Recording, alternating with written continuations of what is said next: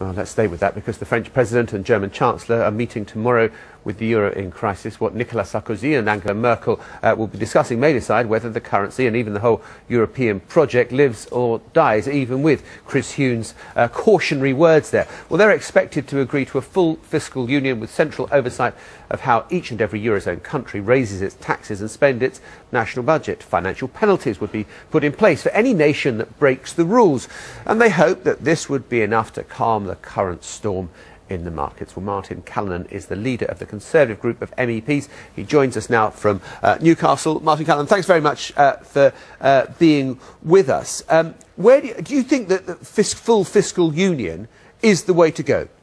Um, it could well be, but um, what we should never forget is that uh, you know treaty change on this level could take several years.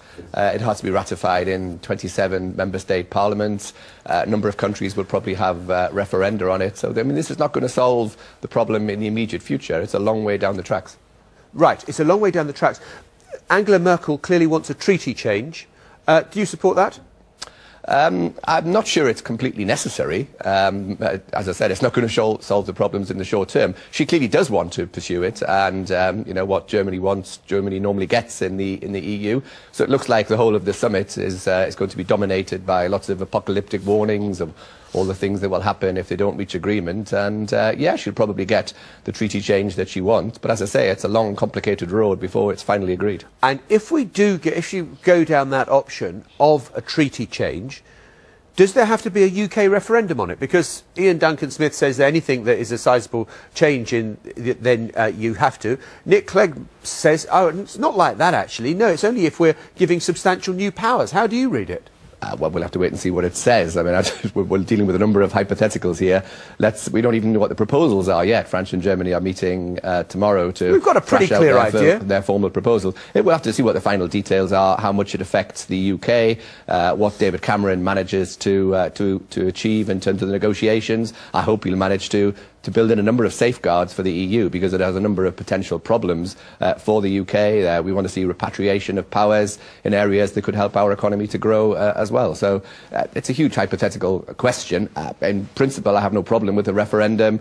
Um, you know, I think we've had far too few referendums. If there'd been more referenda when the euro was established, uh, not least of which in Germany itself, then we might not have been in the same problems that we are now. How do you see fiscal union affecting the UK?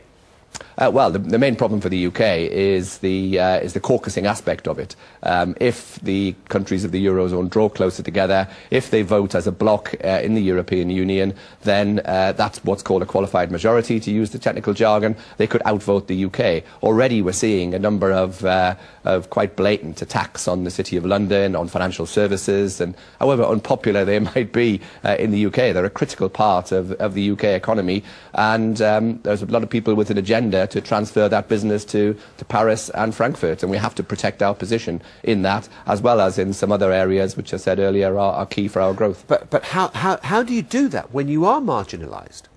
Uh, well, you're not marginalised, of course. David Cameron has a veto. Uh, that's the thing about treaty negotiations. All 27 member states have vetoes. All national parliaments have to approve the uh, new arrangements. And just think for a moment, the, the democratic problems that are going to be caused by this.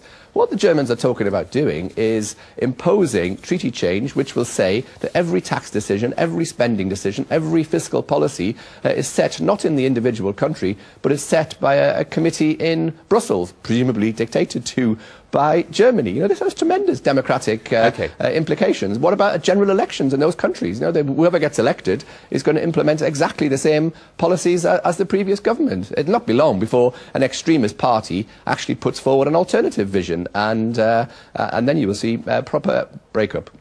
All right, Martin Callanan, very interesting.